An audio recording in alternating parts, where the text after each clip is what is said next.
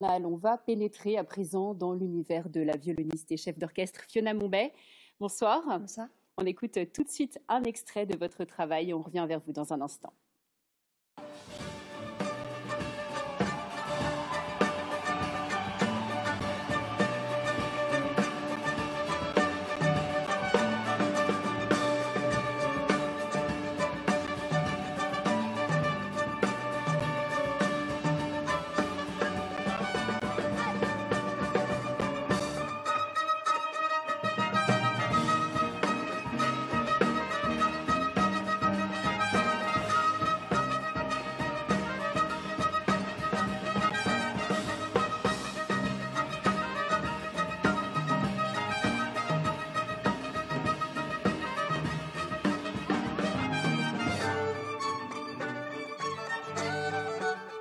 Fiona Mombay, ce sont les toutes dernières images de votre concert cette semaine à Marciac, dans le Gers.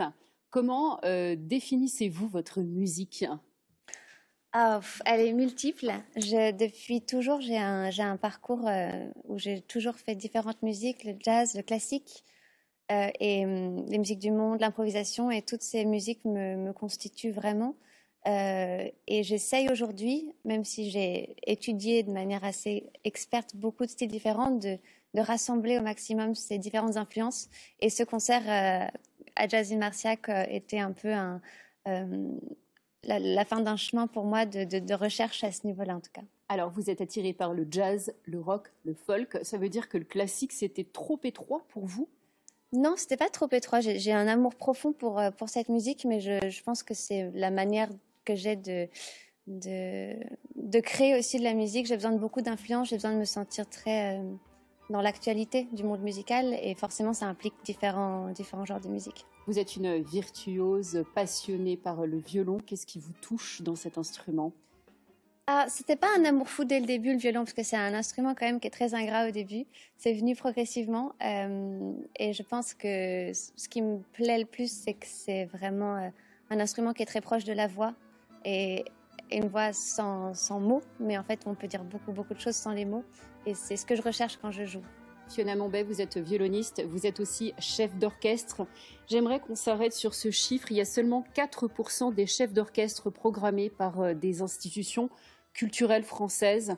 La France a du retard sur euh, l'égalité homme-femme dans le monde de la musique. Oui, elle y travaille. Euh, il y a beaucoup de choses qui sont mises en place pour, euh, pour avancer sur, euh, sur ce point-là, mais effectivement, c'est un chiffre qui a été relevé il y a quelques années déjà, qui est très, c'est très peu, mais il faut savoir qu'il y a beaucoup, beaucoup de jeunes femmes maintenant qui rentrent dans les conservatoires, et je suis assez persuadée que c'est de toute façon quelque chose qui est en train de bouger. J'ai beaucoup de collègues chefs d'orchestre, Lucie Leguet, Chloé Dufresne, qui sont maintenant en train de commencer leur carrière, et c'est quelque chose qui est en train d'évoluer beaucoup.